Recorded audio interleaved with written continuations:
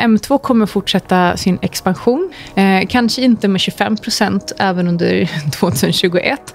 Eh, men eh, de ser, i snitt sen 70-talet har det legat på typ 10 procents expansion. Så det kommer vara en hel del underskott att täcka upp för och eh, en hel del stimulanser som fortfarande kommer behövas då i efterdyningarna av den här pandemin. Du lyssnar på Antilop Hedge och det är Carl Mikael Syding och Martin Sandqvist. Och lite senare så kommer Anna in i podden också. Ehm, ja, vi har rätt eh, speciella eh, marknadsrörelser här på sistone efter både vaccin och Biden. Vad säger du Martin, är det enkelt?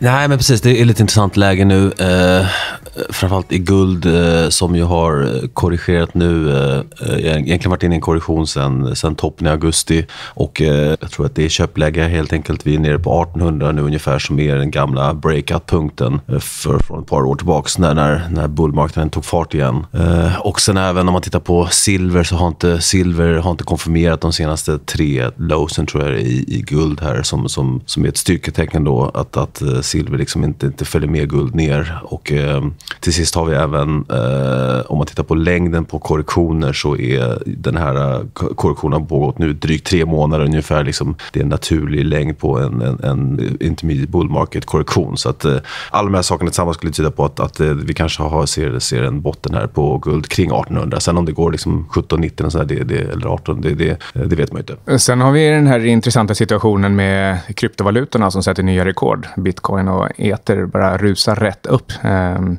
ser du någon koppling till guldet eller eh, kan det vara så att eh, digitaliseringen som tar fart på grund av, eh, eh av corona gör att man skippar guldet och går in i digital valuta? Eh, jag tror att eh, det, vi har sett det här förut att, att eh, när, när det är tjurrusning i, bitcoin så, så skäl det lite liksom gulds thunder som man säger. Liksom att, att folk väljer att köpa bitcoin för att hedga sig mot, mot centralbankernas eh, pengatryckning. Och, och det jag tror lite det vi ser nu och det som brukar ske då är det att guld eh, hakar på efter någon månad eller så. Så att eh, det skulle också vara ett tecken på att, att eh, guld kan bottna ur här. Men sen tror jag att ja, skulle guld bryta 1770 ungefär så, så kan det nog vara dags för en djupare korrektion. Och då kanske man ska ner liksom till 1700 eller 1600 för att testa de stödnivåerna. Var skulle du rekommendera att man köper med båda händerna? Utan att ge någon rekommendation förstås, för det gör vi aldrig. Aldrig rekommendation, men, äh, men det är här, det är, kring, det är 1800 tycker jag är jättebra ingångsläge. Och sen får man sagt säga, kan man ha en rätt tight stopp på 1770. Eh, men eh, jag, jag, tror att det vänder här helt enkelt. Vad tror du, på tal om att vända, vad tror du om eh, eh, den här rotationen som vi nu har sett? Alltså jag tror att det är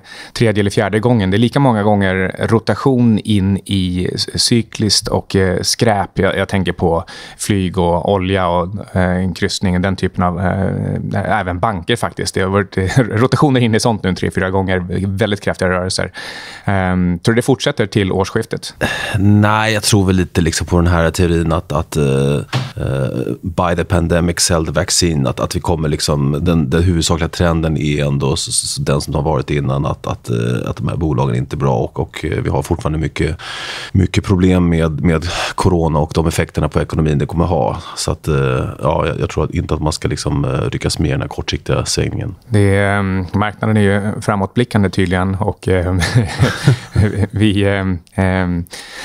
Man ser ju den här typiska dikotomin här igen med eh, eh, maximal eh, coronaoro, åtminstone i Sverige. Vi har inte haft det värre än så här någon gång. Eh, och eh, på samma sätt så tar corona fart i, eh, i Europa och USA. Och eh, ändå så handlar marknaden som om vaccinet har löst allting redan idag. Precis, det är så är det. Men eh, apropå dikotomi så, så tycker jag det vore kul att så vill jag bara ta upp en, en grej som vi pratade om tidigare. Det här med polariseringen innan jag glömmer det. Nu byter jag spår totalt här. Men... Vad, vad pratar vi om för polarisering? för, för två par, par veckor sedan så pratade vi om, om polariseringen i samhället. Och, eh, jag, jag, jag, är tyvärr så extremt eh, långsamt, eh, långsam i huvudet. Min fru brukar alltid skoja att är, jag är en sån person som är jättebra att ha liksom två veckor efter en katastrof. För att jag, det tar mig liksom ett par, par veckor att, att, att, att samla in information och, och bearbeta den. Så nu, nu har jag funderat lite mer på det här med, som vi pratade om, polariseringen. Om, om varför, varför samhället är så polariserat och, och eh, eh varför, de här, varför vi alltid tenderar att se två grupper. Då. Man ser, folk faller alltid in i liksom en av två grupper. Då. Antingen så är man pro-Trump, eh, man, är, man är skeptisk mot klimatförändringar, man är, man är eh, pro... Eh, man, man, man, man tror inte riktigt på corona, man, man är antivaccin och såna saker. Eller, eller så är man tvärtom. Då. Och, vi spekulerar lite om vad det här berodde på. Att det hade att göra med, med sociala, sociala medier. Det, det är en aspekt att vi liksom Liksom lite Anders Hansen Turin, att vi inte är skapta för den här äh, digitaliseringen och teknikutvecklingen. Och det tror jag ligger mycket i det. Eh, och sen pratade vi om det här med fourth turning också, att det skulle ha med generationer att göra. Och sånt där, och det, det, tror jag också stämmer. Men eh, det jag kom fram till, tror jag att den största orsaken till den här polariseringen är att, eh, att eh, vi nu är i en strukturell depression ekonomiskt. Och vilket man kan se, vi har pratat om det tidigare, om, om, om man mäter BNP med en riktig deflator, med riktigt mått på, på, på inflation, så, så, har man, så skulle man se att, att BNP faktiskt har kontrakterat under lång tid. Och det har gjort att människor får, har fått det sämre. Gemene man har fått det sämre och eh, den här dolda, gömda inflationen då, som, som man försöker trycka ner, den, den gör att folks levnadsstandard sjunker egentligen. Och eh, de 1 procenten får det bättre, men, men gemene man får inte bättre. Så att, och det här ökar ju då liksom vår instinktiva tribal liksom känsla att vi måste tillhöra en grupp. Och eh, det där blir mer och mer, mer ju, ju, sämre, ju, ju sämre liksom, ju, ju, mer frustrerade folk blir, ju mer, liksom, ju mer, ju mer problem man får ekonomiskt, ju mer, ju mer vill man till, tillhöra en grupp. Och det där är ju väldigt så här, basalt, att, eh, som tillbaka till grottmänniskotiden, att, att eh, när man hade det svårt så, så var det väldigt viktigt med grupptillhörighet. Och det är därför man liksom, eh, jag tror vi faller väldigt snabbt in i den här grupptänket, att man verkligen vill tillhöra en grupp och det är det som skapar den här polariseringen. Om man inte tillhörde en, liksom en specifik eh, värdefull punkt inom stammen, säg att det fanns 150 slots som man kunde, kunde vara. Var man inte med så var man i princip död. Du klarade inte ensam på, på savannen. Och det är väl liksom just det som hänger kvar. Är det jobbet så måste du vara en, en i gruppen. Ja, precis. Och, och ju jobbigare vi får ju, ju mer utpräglad blir den här liksom, tendensen att, att söka sin grupp och uh, kräva den här, vilja ha den här grupptillhörigheten. Det finns en uh, liten parallell här till det här, den här uh, tudelningen, eller polariseringen i samhället. Och Det är faktiskt i index också. Att vi har the one percent, det är liksom de fem ledaraktierna i Standard Poor 500. De går upp och går som tåget. Men de andra 495 de har egentligen inte gjort så mycket. Nej, nej det är mycket märklig uh, utveckling det där. Och uh, om man rent tekniskt så, så, så, tycker man att det där ser väldigt svagt ut. För att uh, man har ju lärt sig att uppgångar mm, ska ju alltid liksom, ju bättre ju, ju, fler aktier som, som, som deltar. Och det, det där ser ju väldigt svagt ut tekniskt när det är bara ett par aktier som deltar i en uppgång. Liksom. Om man vill ha en liten fundering, det vill säga om man söker stödjande information för att det här ska vända ner, så är det att eh, om man tittar på risk parity-rebalanseringar inför årsskiftet så är det så att nu har aktier gått mycket bättre än obligationer i, i år, vilket innebär att eh, aktiedelen är för stor ifall man utgår från att man hade en korrekt balans eh, förra året. Och eh, det kan leda till eh, stora såna risk parity-ombalanseringar eh, då man måste sälja aktier och köpa obligationer istället. Har du någon, någon tanke om det här? Tror du att det kan, kan vara på riktigt eller är det bara stödjande information? Nej, men det, det, låter väl väldigt vettigt. Eh, den här risk parity, liksom, eh, uh, traden och allokeringen är ju extremt stor i marknaden och kan få, få väldigt stora uh, effekter. Sen, sen tror jag de senaste, senaste dagarna har vi haft lite sån här liksom pre-holiday rally. Så jag, jag, förväntar mig efter Thanksgiving-helgen här så, så lär vi nog se en liten sell-off igen. Uh, men jag tror ändå att det inte sker något dramatiskt fram till årsskiftet. Jag tror ändå vi kommer stänga på en rätt liksom, fast punkt. Ja, man är väl inte minst Robin Hooders eh, tror jag är redo för ett eh, årsslutsrally och kan liksom ligga med och Christmas köpa rally, Santa rally. Måste ju köpa julklappar för pengarna. Ja. Aha, ha, ehm, har du någonting mer innan vi ska gå över till eh, bitcoin och släppa in Anna? Nej, men vi kan väl gå över och prata om den här låtsas, eh, låtsasvalutan nu. ja, är, jag vet inte om den hinner upp på 20 000 medan vi spelar in här på onsdag morgon, men ja, vi får se. Hallå, Micke Syding. Nu är det dags för världens bästa tillgång förra decenniet och antagligen det här också. Vad är det? Eh, det är bitcoin. Är det en prognos? Eh, nej, jag ger ingen... Är det en rekommendation? nej, det är det definitivt inte. Men, men jag tänkte istället inleda med att vi ska prata... Jag ska koppla ihop sojabönor med kryptovalutor på ett sätt. Mm. Och samtidigt prata lite om Sydamerika. Men eh, det är kul för dig och mig som, eh, som äger bitcoin och eter och eh, jag sitter på lite DeFi-coins också. Det är ju trevligt. Det är ju, det är ju glada dagar. Ja, saker händer. Tio år händer på tre månader som eh, man har eh, ältat eh, in i absurdum vad gäller Netflix och liknande. Och det är ju faktiskt lite samma sak för kryptovärlden nu. Det kanske hänger ihop dessutom, att man behöver en digital valuta. Tror du att det var därför jag såg ut som sju svåra år igår? Ja, men du, precis. Du har fått sju svåra år på tre månader. uh, nej, men jag tänkte också att vi skulle kunna säga så här. Uh, jag vet att Martin har varit här och snackat uh, lite guld, men jag vill också lämna min kommentar på att guldpriset faller och det faller på vaccinnyheter. Och jag pratar ju en hel del om att man ska skilja på signaler och brus när eh, det kommer till eh, guldpriset. Och jag har sagt tidigare att en nyhet om ett krig som får guldpriset att stiga, det är brus. För det säger egentligen ingenting om eh, den, det, det, som långsiktigt driver guldpriset, vilket egentligen är penningpolitik. Och när det kommer till de här vaccinnyheterna, då, om man är first level thinker, då tänker man att jo, men det här är självklart en signal. För vaccinet betyder eh, att eh, vi kommer vaccinera oss, pandemin kommer vara över, vi kommer få igång ekonomin igen och eh, vi kommer definitivt också kunna eh, krympa eh, Feds balansräkning. Men, men, det var roligt. men i verkligheten då så, eh, så går vi, förutom då att ja, de här vaccinnyheterna pressar priset på guld, eh, men vi går samtidigt åt ett MMT-håll, vilket kommer leda till att vi kommer trycka otroligt mycket pengar. Och det är inte som så, hur tror ni att vi nästa år ska täcka budgetunderskottet med eh, höjda skatter eller? För det kommer inte ske. Så eh, M2 kommer fortsätta sin expansion, eh, kanske inte med 25 procent även under 2021, eh, men eh, de ser, i snitt sen 70-talet har det legat på typ 10 procents expansion. Så, och i, i och med att 2021 det kommer vara en hel del underskott att täcka upp för och eh, en hel del stimulanser som fortfarande kommer behövas då i efterdyningarna av den här pandemin. Så säg att eh, min gissning är att vi kanske hamnar någonstans på mellan 17 och eh, 17 till 19 procent i expansion av M2. Väldigt exakta siffror. Vi får, vi får, vi får kanske pinga in det här och se nästa år vad som händer där. Men, eh, men det innebär ju alltså att eh, jag fortfarande ser uppsida för guldet. Och nu har ju guldpriset i år inte längre stigit så mycket som eh, M2 har expanderats. Så eh, jag skulle säga att guld ser attraktivt ut. Och som vi har varit inne på tidigare, säsongsmönstret tenderar att börja i början på december. Ja, och eh, Eh, som du säger, när det, är, när det är brus, oavsett om det är uppåt eller neråt, så är det läge att eh, sälja eller köpa. Ehm, för underliggande så har den där klockan som bara tickar på. Och det är nästan märkligt hur, eh, hur nära guldpriset har gått totalt sett, den totala penningmängden över 10-20 år. Och för att koppla ihop det här med bitcoin, jag vet att Martin, jag vet inte om Martin sa det i podden, men vi snackade om det igår, så guldpriset har, eh, följer efter bitcoin, men är eh, en månad långsammare. Och det får man väl ändå ge guldet, att det är en tung gul sten som den ska släpa eh, bakom sig. Eh, så mm, med tanke på bitcoinprisets eh, senaste tids uppgång, så skulle det alltså kunna eh, båda ganska gott för guldet.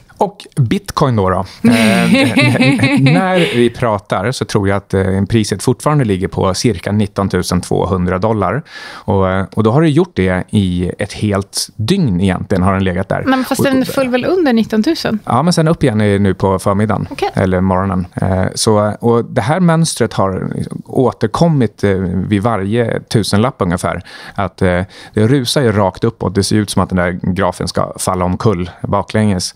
Men men eh, korrektionerna blir väldigt små. Visst, det har varit någon enstaka liksom sådär, minus 1000 dollar på, eh, på eh, tio minuter eller en timme eller någonting. Men, men det studsar ju tillbaka igen lika fort. Jag tycker det ser extremt starkt ut rent tekniskt, just det beteendet. Och så nu också när vi är bara några hundra dollar från all time high. För de som handlar de här certen, både XBT och XBT eh, och eh, fond, så brukar jag kalla bitcoin för good guy bitcoin. För bitcoin brukar tendera att, ha korrektioner under helgen och sen så lagom till måndag morgon så är den upp igen på samma nivåer som på fredagen. Mm, det ger en, en skön känsla i portföljen eh, slippa se de där nedgångarna. Men okej då, men eh, varför går det upp nu då? Alltså vi har ju, jag har i alla fall upprepat några av de här sakerna lite då och då eh, under poddarnas gång. En är den här halvingen som är totalt eh, missförstådd. Det har vi upprepat några gånger så det behöver vi kanske inte. Sen har vi de här företagen MicroStrategy och Square som har gått in och sen massa, massa kändisar, inte minst Blackrocks CIO för Fixed Income, Rick Reader. Han var på CNBC, tror att det kan ha varit i förrgår kanske. Jag tror att det skulle kunna vara som så att 2017 var en retail-hås och det här är en institutionell hås. Mm, nu, det låter lite ja, så. Ja, och det, det verkar faktiskt vara så ganska ofta att eh, även motståndare som eh, stora eh, kända investerare, de kan vara motståndare först och sen läser de på ordentligt och sen går de ut och gör lite avbön i sina nyhetsbrev och liknande och säger att ah, men liksom, titta noga på det så, så ser ni drivkrafterna. Och det behöver inte alltid vara fundamentala drivkrafter som säger att det här ska bli en ny reservvaluta eller att det är digitalt guld. Däremot så kan de se att nätverket växer och det får ökat intresse och det, det drar helt enkelt till sig folk som en spekulativ tillgång och det räcker för att man ska för att man bör ha någon procents eh, exponering mot det. Eh, och vi har Druckenmiller och Paul Tudor Jones och det kommer fler. Och eh, också en sak som vi har nämnt innan, den här, det här med att det går mer och mer åt mainstream. Paypal är inte eh, koppla på så att du kan, eh, du kan betala med bitcoin för hos vad är det, 45 miljoner säljare eller 26 miljoner säljare eller något sånt där. Och eh, det innebär att det är 350 eh, portföljer eller 350 människor som nu helt plötsligt kan använda sig av det då ska man också säga att det här är... Ja, ja, Men de, då, de ser får liksom framför sig. så att liksom, om, om de hela tiden ser hmm, bitcoin, ska du, vill du betala bitcoin? Vill du ha den i bitcoin? Och så, och, men så här är det då, att det är, det är ingen riktiga bitcoin. Men det som händer är att, säg att eh, 1% av de 350 eh, miljonerna eh, tittar tillräckligt länge på priset, har varit helt, eh, eh stått helt utanför innan och säger, ah, men vänta lite nu, man kanske ska äga, ska äga lite riktiga. Men då har du helt plötsligt 3 eh, miljoner 500, 3,5 eh, miljoner nya, nya plånböcker. Eh, och det är om det är 1 procent. Om vi får 1 procent av hela Paypals marknad. Mm, ja, det där hörde jag eh, Johan i Börspodden prata om i Affärsvärldens senaste podd. Just det här med 1 argumentet men, eh, men när det gäller bitcoin så stämmer det faktiskt. En, en annan sak som är lite kul är med banker som sätter riktkurser på bitcoin. Mm. Och så tänker jag på Cities på 318 000. Mm. Tror du att den är baserad på Rainbow Chart? Ja. Eh, det finns ju liksom många sätt att komma fram till uh, siffror på. Ja, men allt från mitt eget favoritmål på 50-60 000 och sen liksom upp till de här 250 till 500 000. Så liksom, trianguleringar som, som bygger på alltså dels bara hur tidigare vågor har sett ut, alltså liksom någon slags momentum och hur många multiplar bitcoinpriset tenderar att gå i varje ny kryptosommar. Um, och sen har vi Eh, man kan anta en viss procentandel av eh, gulds värde eller att man behöver en viss ekonomisk bandbredd för att klara, låt oss säga, 1 procent av, eh, av BNP, av världens BNP. Alla, alla de här, då kommer man fram till, till siffror på liksom 100, 200, 300 000 dollar per bitcoin ganska enkelt. Och eh, världen verkar ju liksom vara på väg dit. Det, det finns ett behov av en, en digital valuta av det här slaget.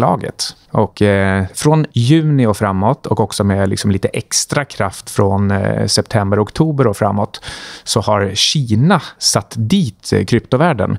De har eh, fryst bankkonton och kreditkort för eh, eh, miners och de har också eh, här på slutet fängslat och stängt ner kryptobörser. och då kan man tycka att ja, förr i tiden då har det här ofta... Sitter kryptobörserna i fängelse nu?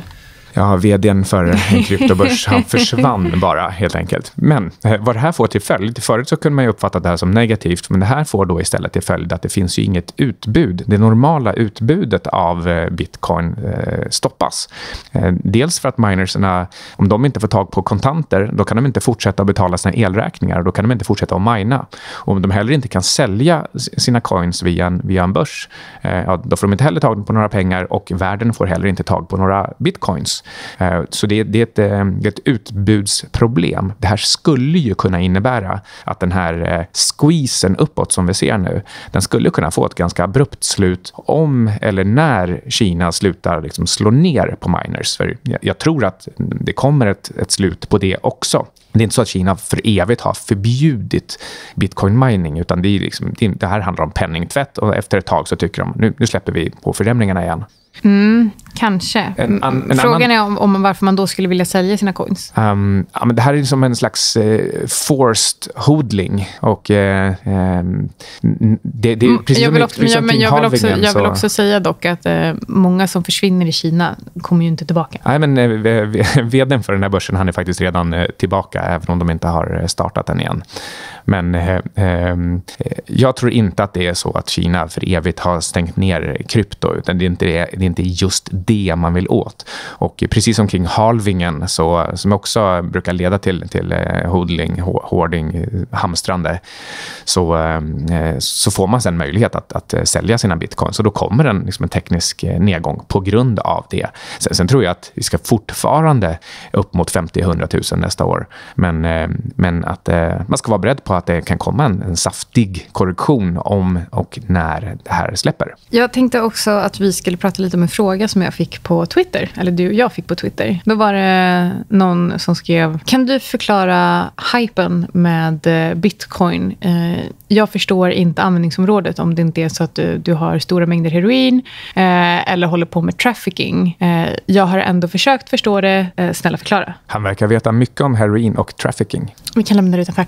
Men Eh, och då svarade jag att eh, han förstår inte, för han eh, lever inte i ett land som till exempel Argentina eller Venezuela, där den lokala valutan är så trasig att det faktiskt inte går att använda den.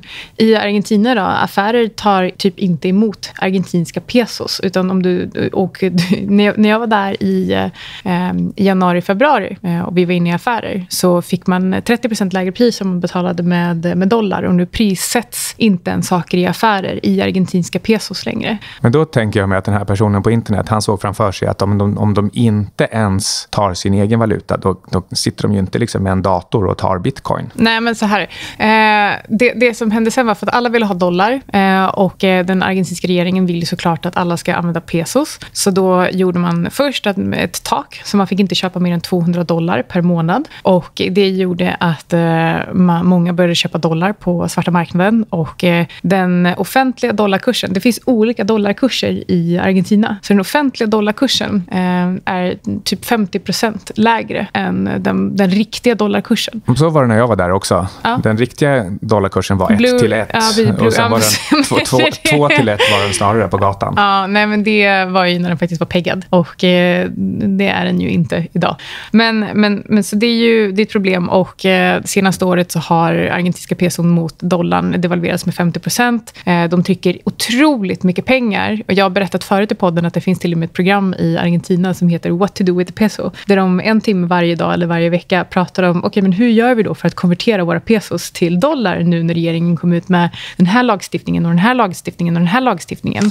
Och eh, till slut blev svaret krypto. Och eh, jag, för, jag förstår att vi, vi har vuxit upp i Sverige, de flesta eh, som lyssnar på den här podden. Och eh, vi, eh, jag vet att det, vi är skämtsamt och eh, framförallt jag har kallat eh, kronan för bananvaluta. Jag har kritiserat Ingves, men vi har ju fortfarande haft en valuta som vi faktiskt kan använda i vårt egna land. I ett land som är rikt. Och eh, så har det inte sett ut där. Och eh, under krisen i Argentina 2001 så gick, de, gick man inofficiellt delvis över till ett barter-system där människor samlades på ett torg som kallades för träcke. Och där bytte man alltså tjänster med varandra. Så någon sydde kläder, lagade kläder och, i, och mot det fick personer personen några ägg. Eh, och det är liksom på nivån hur trasigt eh, systemet är där. Och eh, jag skrev det här och så sa jag, så jag förstår att du inte förstår.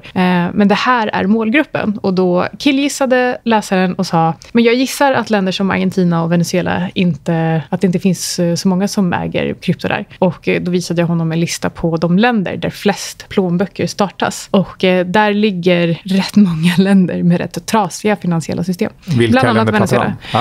Eh, Elfenbenskusten, Venezuela, Peru. Eh, gud, nu kommer jag inte ihåg alla. Men eh, Nigeria. Argentina, var de med? Eh, Argentina låg inte på den topplistan, men det är många i Argentina som, som går över till DAI, som egentligen är, är en stablecoin som ligger på Ethereums plattform och den är peggad till dollarn. Mm, det låter ju faktiskt lite mer rimligt att man väljer den eftersom man, man kommer från ett dollarsystem. Precis.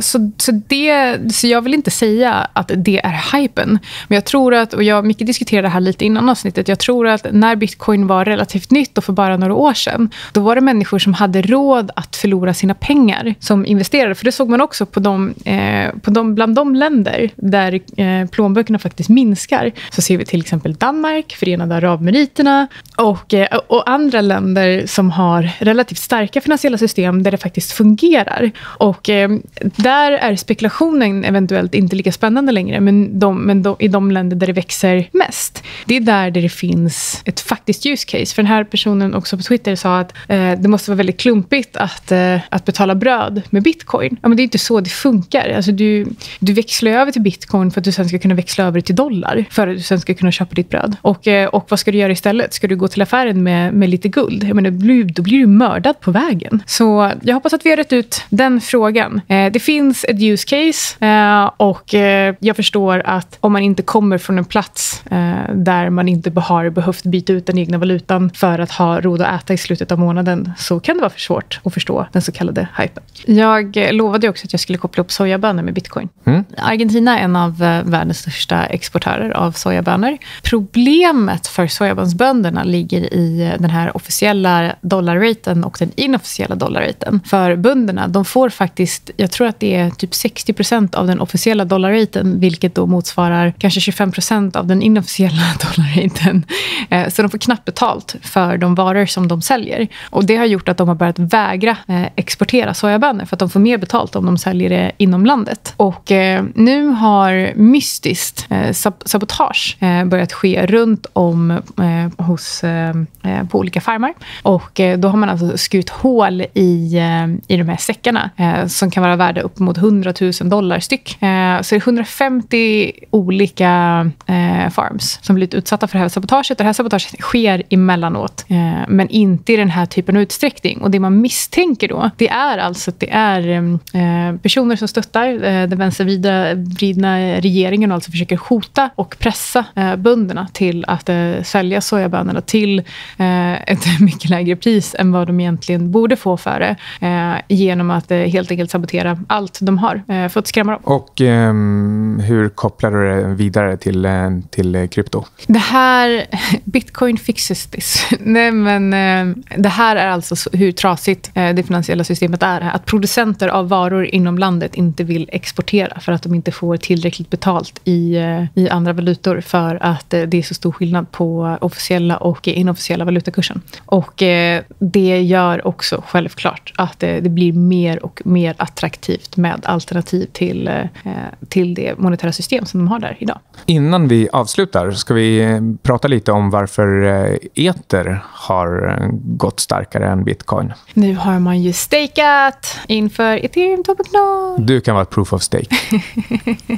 proof of stake. Um, ja, nej, men nu har alla Ether som behövde stakats, stakats. Och um, Ether, jag tror att, man planerar att gå över till ethereum 2.0 första december. Mm. Och då går man ju från proof of work till proof of stake. Och det så... var alltså igår så nådde man upp till tillräckligt många för att besluta om det här. Exakt, jättekul. För jag var i Borlänge i helgen och eh, då när vi kom dit i torsdags kväll eller om det var fredags morse så tittade vi på hur många procent av eh, de antal eter som behövdes för att, eh, för att göra den här förändringen. Då. Och då var det typ 12 eller 13 procent hade stakats och sen så gick det riktigt, riktigt snabbt. Jag tror att när vi vaknade på fredag morgon var det typ 25 procent och sen så igår då så nådde man upp till, till det sista.